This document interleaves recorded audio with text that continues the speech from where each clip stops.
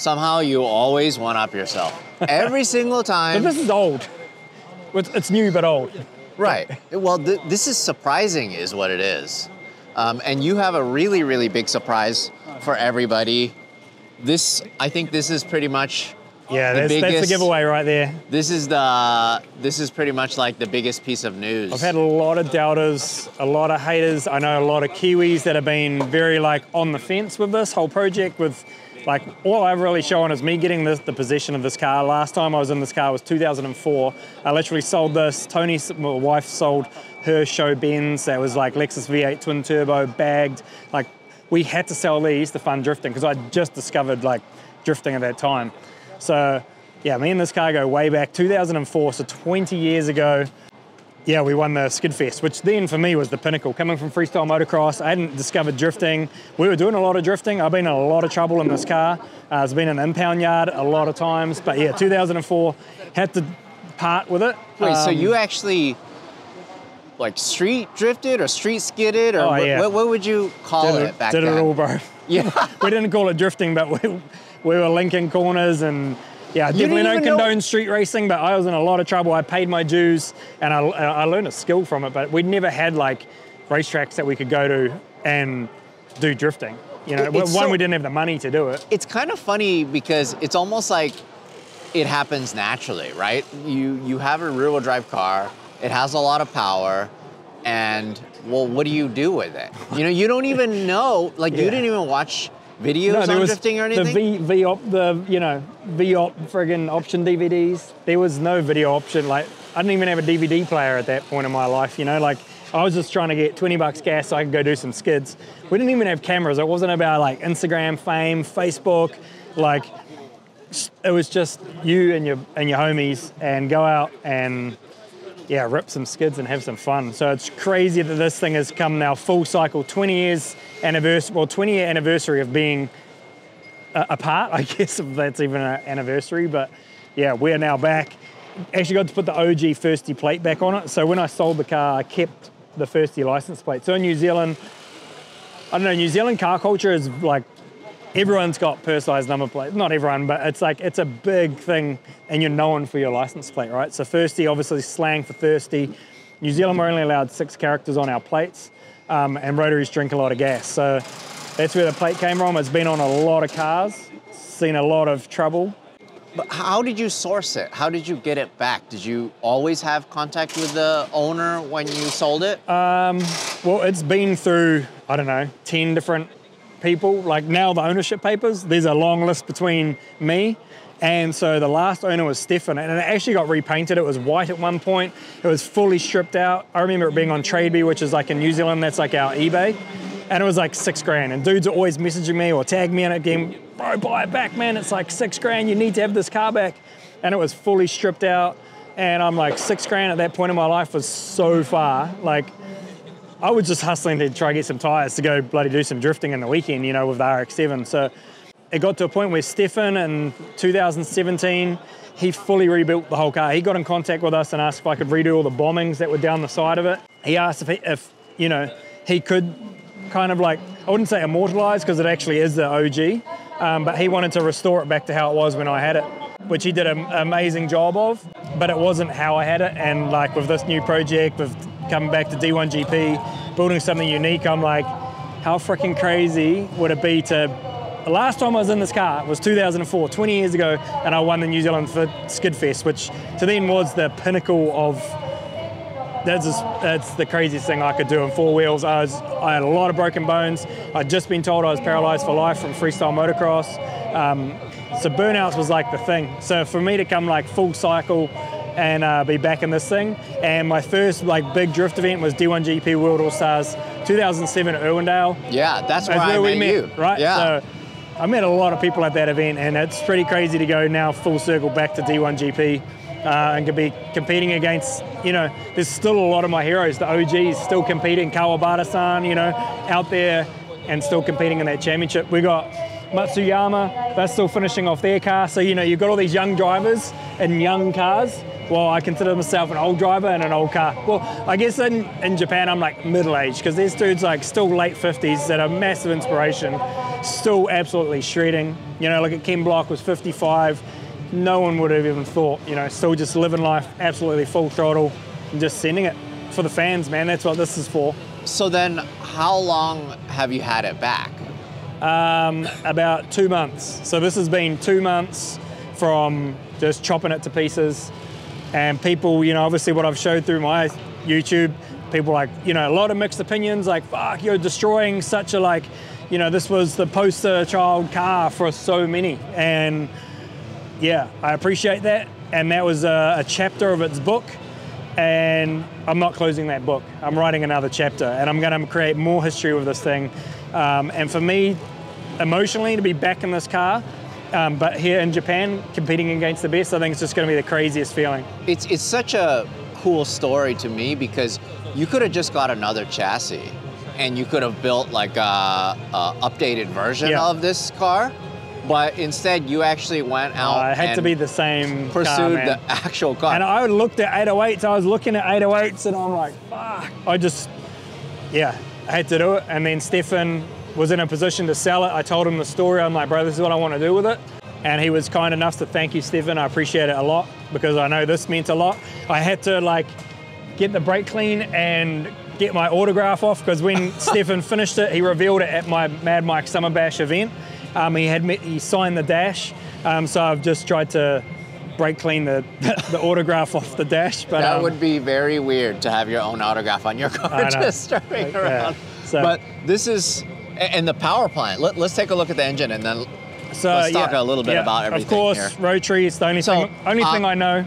I forgive us guys. This is Tokyo Auto Salon setup day, and you know me. I always want to try to get the scoop, and um, I always love shooting with Mad Mike, whether it be his Pikes Peak car or any of his drift cars or anything that Mad Mike does. It's gold. So, what are we looking at here? So in a quad rotor, back to, you know, arguably the favorite. We've got a lot of quad rotors. We've just revealed the world's first five rotor. You know, we've got you know three rotors, two rotors, but yeah, I feel like this car, when I had it, would have this was beyond the wildest dream. It had a had essentially exact same setup, but just a two rotor. So it was a 13B PP, easily enough to win burnout comps uh, and have some fun. So but yeah. that was was that NA back then? Know, yeah, Okay. yeah, essentially the same, but just not injected. It just had an IDA, one fuel line in, drink all the gas, hence the license plate thirsty. But uh, yeah, now this is a TCP built to Kawato. Well, we did it. We did as much as we can at, for like two weeks at the Mad Lab. Uh, went to IMR for like two weeks uh, to do all the fab. He fitted the NA MX5 rear end, so it's all IRS in the back. Um, and then we just needed to get it on a boat and get it up here to Japan um, so Kawato could do his thing. So Kawato's built the motor, it's a brand new 26B quad rotor, similar to what we ran in Jet Bull, but a little bit more crazy. We've got a lot more development since then. It's going to run nitrous. The thing is, like, it's pretty much good. All the hard work is done, like the fab work, fitting everything, making it all like all the steering is Hachiroku steering subframe. So we got low standards. Jay was kind enough with his time frame. He was already like body dropping an RX3 and had put a Hachiroku steering rack into a sub into a um, cross member. So he sent his cross member over. Yeah, then it's got Techno Toy arms. It's got some uh, Car Factory Eye arms. So it's a bit of a mixture of stuff in the steering. Um, but yeah, EFI hardware. Haltech R5 will run the whole thing. So, What are you expecting to make power-wise out of this? well, this will make 600 wheel. We've got the same setup pretty much in Mad Bull, but we're perking this one up with NOS. So, uh, I reckon 700 horse wheel, no torque. It'll still be the same as everything else, but just I don't know what torque is anyway. We just it, drive it at the RPM, drive it up high. that is Yeah, so neat. Okay, so then body-wise, yeah, still steel factory 12A nose. I mean, just this piece of trim here is probably like a thousand bucks. You know, the badge, like it's all original. I just I can't believe you're going to compete in a professional drift series in this car. Why not? Like, why not? It'll entertain. It'll. I'll enjoy it, and it'll entertain, bro. There's the two main things right there. L- Tell me about the wheels. This is Uh, you know, always So working different. with rotiforms, just the bomb. You know, like every project, it always comes down to like, what do we do with wheels? You know, so this, and I can, I don't know. I've always have a lot of ideas cycling up my head. Usually, it's a quick sketch, send them off to Brian and Jace, and then the boys there. They, um, Yeah, do them also done like kind of classic style. This is a center they've already had. We've we've done which are LHR, but like minor details like that to me are major details. There's one inch of concave there instead of it just being like a flat face. Uh, we're running like a six inch lip. Uh, it's a two piece but welded, so it's welded on the back side. Um, obviously the contrast between the white and then the gloss white and then the polished lips. So But this is going to be your actual drift setup. yeah, this drift setup, mate. You know what I run, what I bring, man. like, Wait, so so then uh, what about the triple eights on here? Yeah, so we run Triple Eight. We won the Formula Drift Championship on our Triple Eight R drifts. Um, and so, yeah, we'll be running the exact same tyre, just obviously a much smaller tyre size. This is a 15 by 10, um, and we'll be running around a 225 or a 235. Against, like, we got Matsuyama who's revealing his Yaris. Those boys are running like 295 20, so it's a big freaking tyre. But this thing is going to be light and just I don't know. I feel like it's still okay. We haven't built this car to win the championship. I miss a couple of rounds because of other commitments I've already had. But like I say, entertainment and enjoying the sport of drifting is like the priority. So everything. Only, person running 15s, I'm sure. Oh, yeah, of I'm sure. And I, dude, this year in Formula Drift, no, sorry, last year, 23, we were the oldest car in the in the whole field in the RX-7 Humble, which is a 1992 Mazda RX-7. So this being a 1976, man, we are well, well by far the oldest. There, there's no cutoff then, I guess. That, that's that's good. well, I just like I don't know. I love doing shit that's different. I love trying to prove a point that you know there's set recipes. There's the easy way to go if you're, if if you're in the sport to chase podiums for sure. This is not the car for you. and it's four door. Yeah, yeah. All the doors still work. Like yeah, Can we take a look at it real quick? yeah, yeah. I pretty much mounted the seats in the back, so just weight transfer.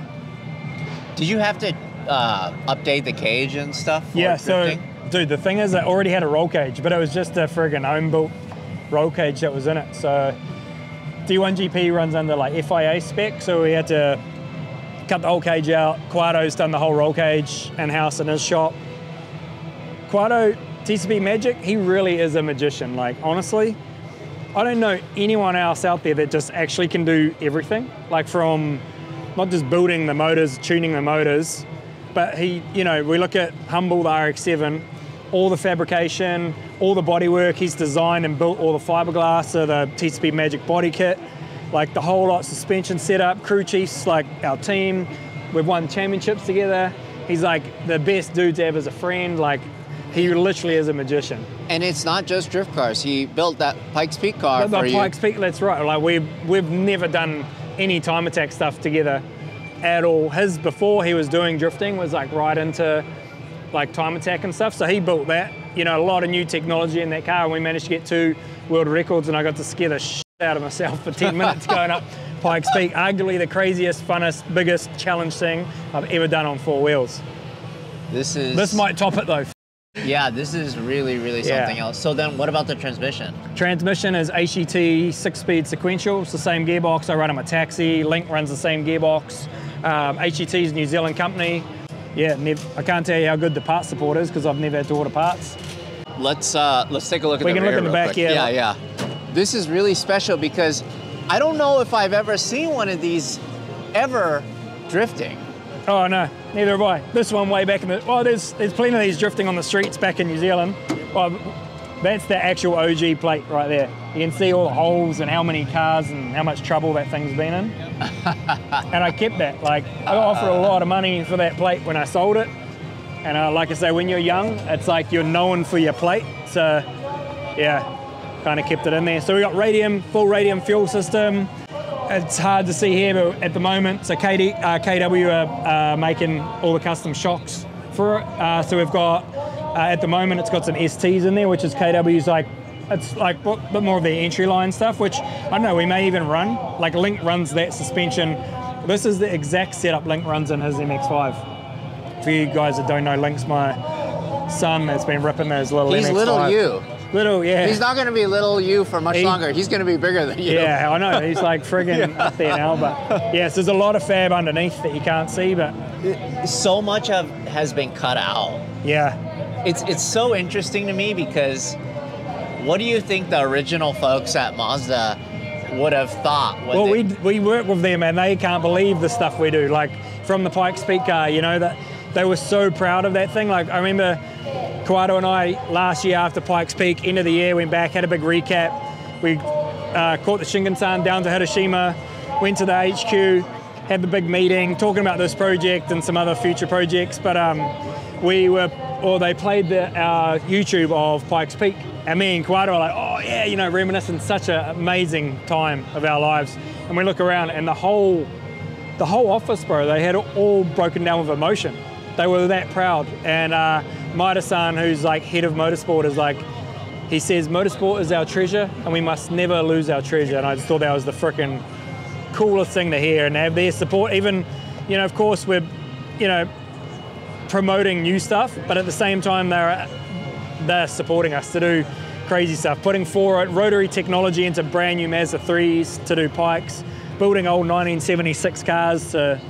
Well, I mean, what's cool to me is that they're supporting you when this car has been out of production for so long. You know, Nearly- almost nearly 50 years. 50 years. But it's not about that. It's about brand recognition. It's about the love for motorsport, as Yeah. you mentioned. You Yeah. know, and that's why something like this exists.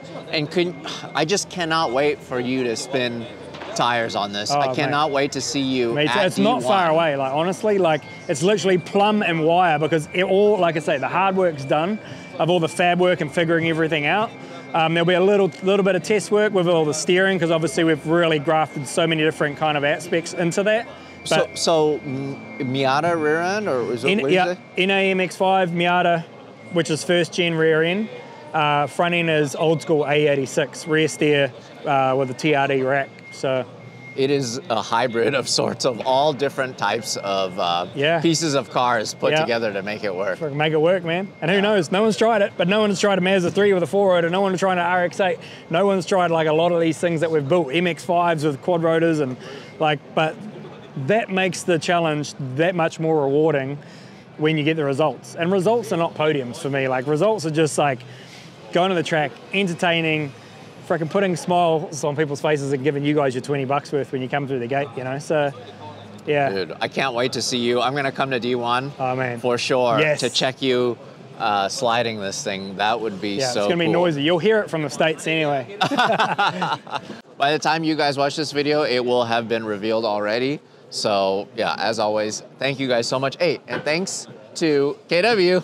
Thanks to KW. Hey, and if you don't follow my channel, Mad Michael, Oh, yeah. man, I'm actually doing some YouTube stuff now. Eh? Like, Yes, good. I've just always been Insta and stuff, but no, we've got like 150k, so we're like slowly growing. But Oh, that's yeah. awesome. Okay, just doing so- a bit more of the behind the scenes. So we've actually done like a behind the scenes clip of this car. We've got more coming, Oh, really yeah. in depth. Right, With me actually hanging off the grinders and chopping this thing to pieces and all that sort of You're stuff. actually showing uh, what you guys are doing to build this. Just uh, like now we're showing on what me and Link get up to on a day to day basis pretty Okay. much because there's a lot of crazy stuff. if you guys watch our stuff, then definitely subscribe to Mad Mike and all his antics.